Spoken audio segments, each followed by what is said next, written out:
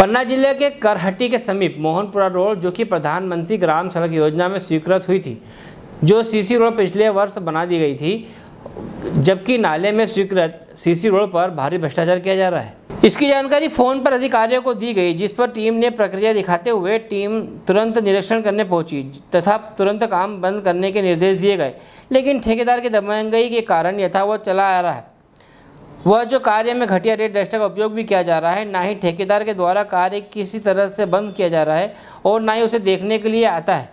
पर वहाँ जो मजदूर काम कर रहे हैं, उनके द्वारा बताया गया है कि ठेकेदार कभी नहीं आते हैं और ना ठेकेदारों को भी हमने देखा है। साथ ही मजदूरों के द्वारा अनाप शनाप शब्दों का उपयोग किया जा रहा है। दबंग ठेकेदार के ऊपर प्रशासनिक अधिकारियों के द्वारा आखिर क्यों कुछ कार्रवाई नहीं हो रही? ये चिंता का विषय है। पन्ना से रिपोर्टर चिरंजीव सिंह बंजारा की रिपोर्ट। ये जो डस्ट मिलाई जा रही है ये क्या है? डस्ट है। क्यों मिलाई जा रही है? अब अभी एक ठेकेदार ने आपसे बोला है। नहीं। हाँ। ठेकेदार जब आए नहीं तो क्या बता तो किसने बोला जी मिलाने को?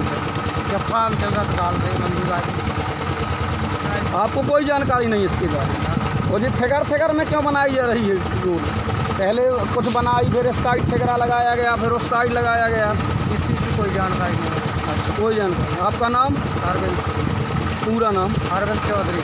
कहाँ से है? पंचनपुरा ये जो रोड बन रही है ये कौन बनवा रहा है? पता ही नहीं है तो इसमें डस्ट क्यों तो मिलाई जा रही है है?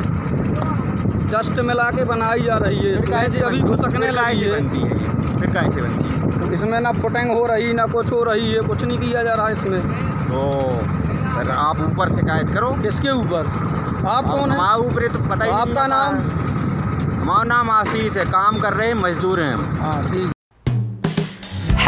फ्रेंड्स आप देख रहे हैं हमारा channel S W twenty four news हमारे सारे वीडियो सबसे पहले देखने के लिए आप हमारे चैनल को सब्सक्राइब करें और पास में लगे बेल आइकन को दबाना बिल्कुल भी ना भूलें।